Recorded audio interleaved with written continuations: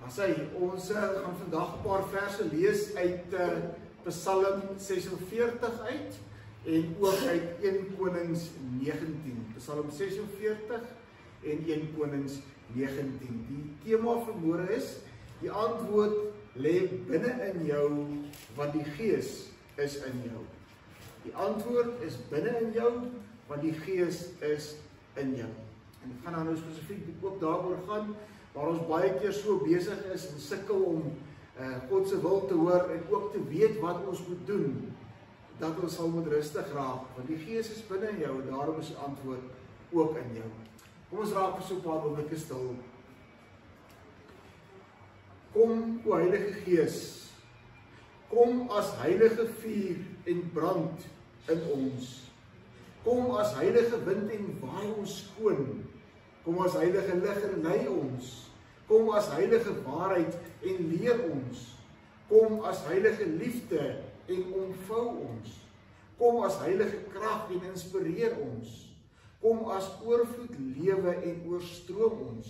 Verander ons, vorm ons totdat ons heeltemal word soos God dit wil. Kom o Heilige Gees, kom. Amen. Die kinders kinders van God, die Here groet ons wanneer hy openbaring vir ons kom sê genade en vrede vir jou kom van God die Vader wat nou hier is wat nog altyd daar was en tot 'n alle ewigheid ook daar sal wees.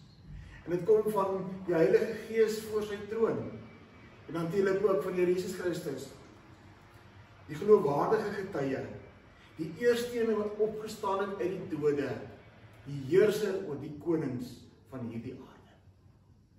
Here baie dankie dat ons as u kinders verhoor hier by mekaar kan wees. En Here dat ons ook kan bid vir al die die seer wat daar buite is. Ons dink aan die siekes, nie net rondom corona Here, maar ook vir al hierdie versorgingseenheid en uh die vriende van ons wat in die hospitale is en wat deur moeilike tye gaan.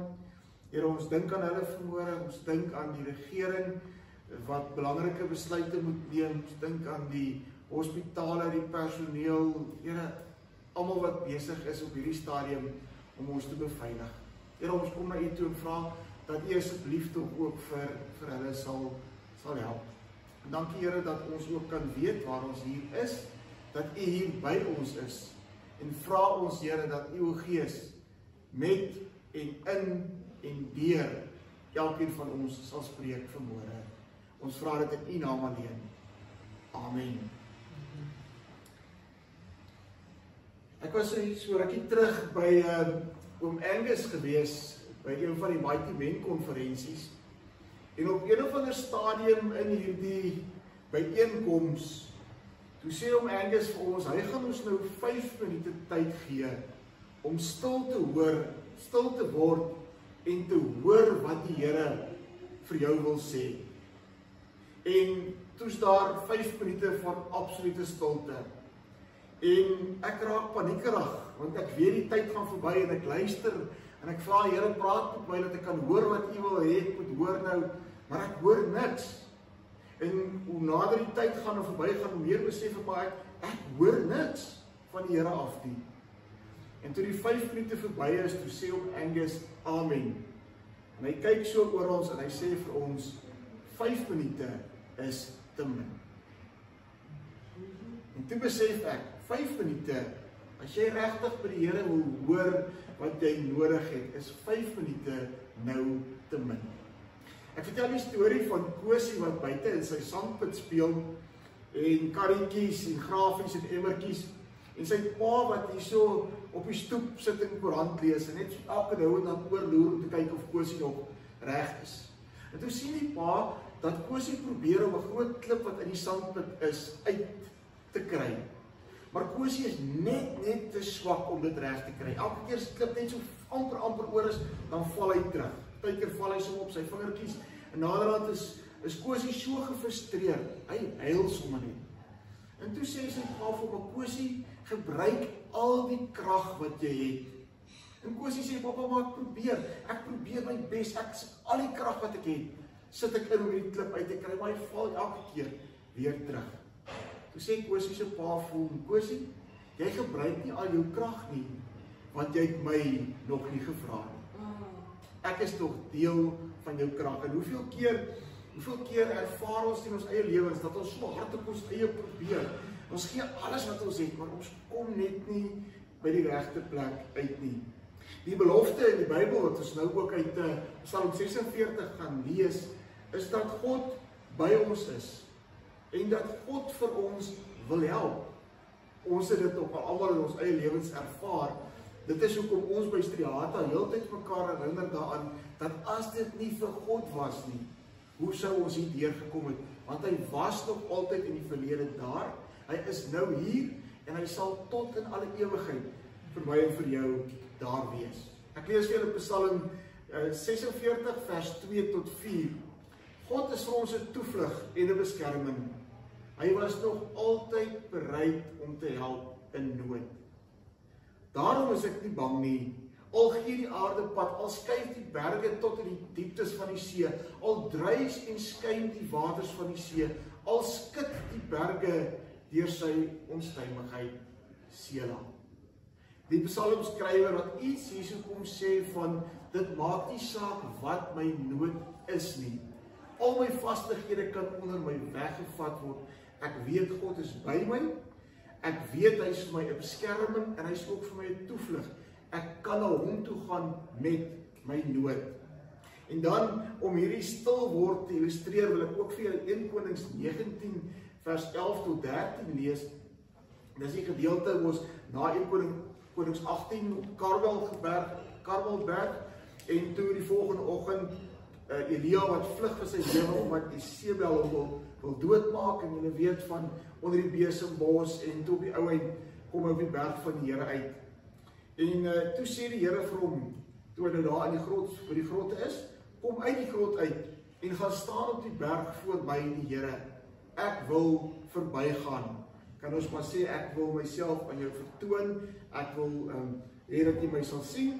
Maar staan daar skielik was daar 'n sterk wind wat die berge stikkend geruk en die rotse gebreek het voor die Here.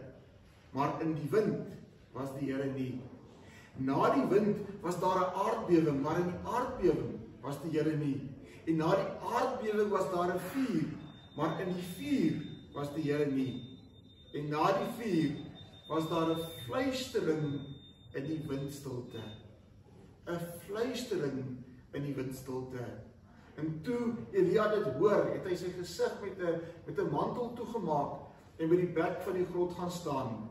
En toe hoor hy die stem wat vir hom sê: "Wat maak jy hier, Elia?" Dink ook in in jou eie situasie. Daar waar jy 'n belangrike besluit moet neem, daar waar jy in moeilikheid is, En wat jy regtig nie weet hoe gaan jy hier uitkom nie. Hoe baie keer ons um, in ons in ons in ons eie wese hierdie hierdie stormagtigheid, hierdie wind, hierdie aardbewing, um hierdie vuur in ons ervaar wat ons eintlik net meer deurmekaar maak as wat dit ons help. En dan die Here wat vandag vir ons iets kom sê van om hom te hoor is juis belangrik dat ons sal stil word voor hom. En dan is 5 minute te min. Ons weet soos wat Kosie se pa heeltyd by hom sit en heeltyd tot sy beskikking is. Hy kan op enige stadium vir sy pa vra om om help vir my. Maar Kosie gebruik nie al sy krag nie. Hy probeer alles wat hy self kan doen, maar hy gebruik nie al sy krag nie want sy pa is deel van van wat hy het, deel van sy krag. Hy probeer self en hoe harder hy probeer, hoe meer gefrustreerd raak hy. En hoe harder hy probeer, hoe minder kry hy dit ook ook reg. Elia wat vir ons iets kom sê van dat God nie in die wind, die sterk wind of die aardbewing of die vuur is nie, maar juis in die fluistering van die windstilte. En nou weet julle, ek weet nou as ons begin sukkel om om te hoor ook, dan raak dit ekstra belangrik om stil te wees as jy wil hoor. As iemand by jou kom staan en fluister. Ek weet meeste van ons uh, myself ingesluit. As jy vir my wil fluister, moet jy redelik naby aan my staan want ek gaan jou nie hoor nie.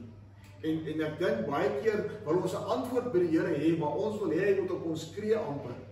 Ek uh, dink baie keer draai ons ons rug op hom en, en jy weet mos as uh, as iemand as jy besig is om met iemand te praat en hy draai sy rug en hy loop weg, dan gaan jy mos ophou praat. En ek dink baie keer vra ons vir die Here, Here, help ons, gee vir ons 'n antwoord. En uh maar dan sit ons nie of ons sit net 5 minute en en ons is weg. En dan moet ek dalk ook net sê om na die Here te luister is nie net om te sit en wag nie. Dis om heeltyd in jou normale gang van die lewe bewus te wees van God se teenwoordigheid en te verwag dat hy op een of ander stadium daardie ligskakelaartjie gaan aansit in jou kop sodat jy weet wat jy moet doen en sodat jy vrede kan hê wat alle verstand te bowe gaan. So baie keer is ons paniekerig in ons soeke na God en spartel en worstel ons en uh, hoe meer ons worstel, hoe minder kry ons God se antwoord. Ek het nou hier 'n glasbottel saamgebring met 'n bietjie grond in. En uh nou as ek hierdie water wil helder kry, wat moet ek doen? As ek die water in die bottel moet moet helder kry, wat sou julle sê wat moet ek doen? Gaan dit help as ek hom skud? Hoe meer ek skud, hoe meer hoe meer vuil gaan hy raak. Die enigste manier om die water skoon te kry binne in hierdie bottel is om net eenvoudig neer te sit en hom te los dat hy kalm raak. Geen windstilte, geen aardbewing, geen vuur, net rustig raak. In die wete dat God binne in my is. En omdat God binne in my is, is die antwoord reeds binne in my. En dan dan ook jy ken jou situasie. So baie keer wil hulle ek moet vir hulle kom wil mense ek moet vir hulle kom raad gee en ek moet vir hulle sê wat hulle moet doen, maar ek ken nie hulle situasies soos wat soos wat jy jou eie situasie ken nie. So jy ken jou situasie en jy weet wie God is en binne in jou ervaring van God. Daardie daardie daardie jy en God bymekaar. God wat binne in jou is. Gebruik die Here om vir jou die antwoord te gee wat jy nodig het, wat eintlik dan ook reeds binne in jou is. Maar dan moet jy dan moet jy stil genoeg raak om daardie antwoord dan ook fisies te kan te kan hoor. As 'n pastorale terapeut as ek met mense werk, dan probeer ek nie om mense te oortuig van van wat hulle moet doen nie. Ek probeer nie om vir hulle antwoorde te gee nie. Want die beginsel waarvolgens ek werk is dat God binne in jou is. Ek probeer om mense net te help om rustig te raak, rustig genoeg dat hulle sal besef dat God by hulle is.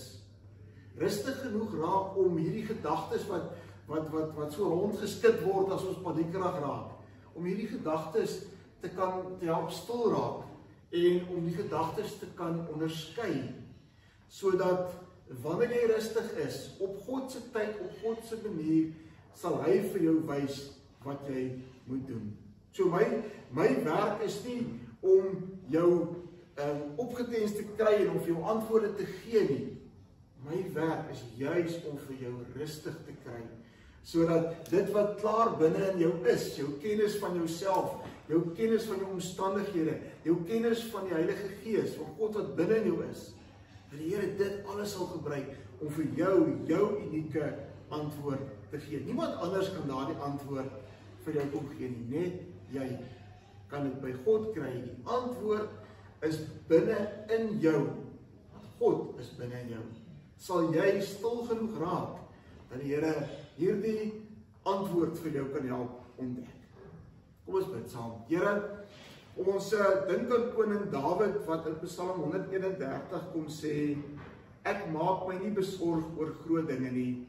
Dinge wat bo my vermoë is nie. Ek het rus en kalmte gevind soos 'n kindjie wat by sy moeder tevredenheid gevind het. So het ek tevredenheid gevind. Wag op die Here Israel nou en vir altyd. Here, help ons om terwyl ons bewus is van u teenwoordigheid nie net om ons nie, maar ook in ons. Help ons om wanneer ons bewus raak van dit ook um, te besef dat u antwoord reeds binne ons geplaas het. Here help vir ons om soos koning Dawid te kan vertrou op u, op by u te kan kom rus en kalm te vind sodat ons stil genoeg kan word om dit wat ons moet doen van U persoonlik te ontvang. Here, ons vra dit in U naam alleen omdat U weet hoe ons baie keer spartel en worstel terwyl die antwoord eintlik reeds binne ons is. Ons vra in Jesus naam dat U vir ons naby aan U sal hou. Amen. Amen. Die, die antwoorde is binne in jou want God is binne in jou. 5 minute is te min. 24 uur per dag, 365 dae van die jaar. Dis wat ons nodig het om die heeltyd in God se teenwoordigheid te lewe. Die Here beloof in sy woord dat hy vir jou sal seën en vir jou sal beskerm. Daar waar ons die antwoorde het nie waar ons na hom soek, beloof hy dat hy tot jou redding sal verskyn, dat hy vir jou genadig sal wees, dat hy jou gebede sal verhoor en dat hy wat die almagtige is aan jou sy vrede sal gee. Glo dit. Soek daarna want God is by jou. Amen.